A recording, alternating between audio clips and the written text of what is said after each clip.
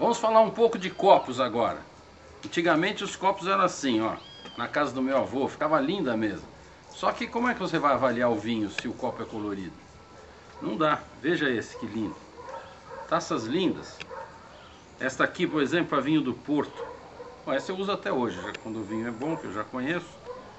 Essa aqui mandei fazer em Murano, quando fui com a minha mulher para Veneza. Fizemos um jogo com monograma, é linda, mas não é correta.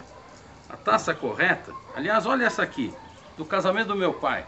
Taça de champanhe era assim antigamente. Hoje só se usa para os champanhes doces. Dizem que essa taça foi moldada nos senos da Helena de Troia.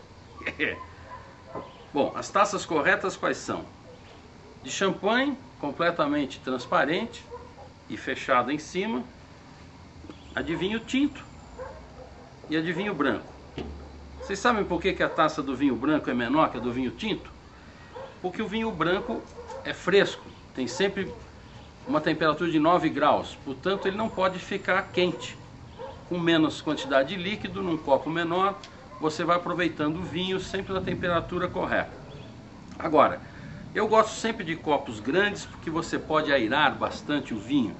Quando você faz esse movimento, que não é também para virar um, um equilibrista chinês de, de circo que fica com aquele prato, né? Isso aqui é só um pequeno balanço para que com o circular do ar os, o, os aromas do vinho vêm para fora, junto com o álcool. É o álcool que faz o nosso nariz perceber os aromas.